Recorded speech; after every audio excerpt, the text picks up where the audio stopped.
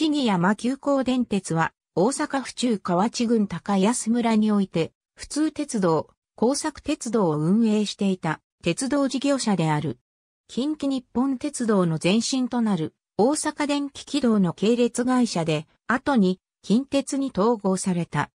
同社が運営していた鉄道線はケーブルカーで登った山の上を走るというスイスなどでは例があるものの日本では唯一のもので三条鉄道線、新旧平坦線、平坦線とも呼ばれていた。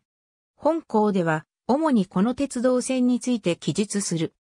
もともと、シニエコマ電気鉄道が王子駅、山下駅間の鉄道線と、山下駅市に山駅間の工作線を1922年に開業させたのに対抗して、大阪から大気の路線を経由して、より短距離で杉山へ行ける路線の建設を目論んで設立されたのが同社である。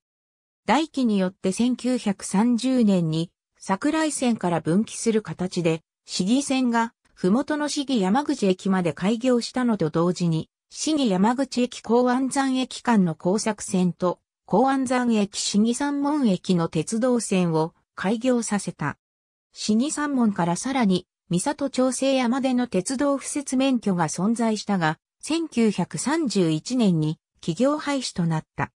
折からの不況の影響で、開業時から営業成績は歩く、1938年には大気に経営を委任するが、太平洋戦争中の1944年1月7日に、同社が運営していた路線は不要不急線に指定され休止された。そして同年4月1日には大気の後ろ身の関西急行鉄道に合併され解散した。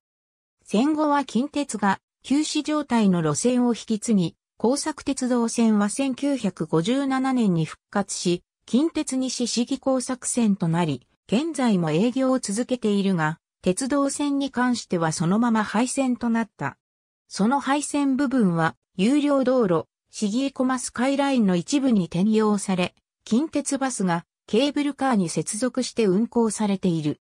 1933年10月時点1933年10月7日、改正当時鉄道線、公安山駅ホーム跡平坦専用として、デコ計5.67の3両を日本車両本店で製造した。運行は1両で、十分で2両は予備であった。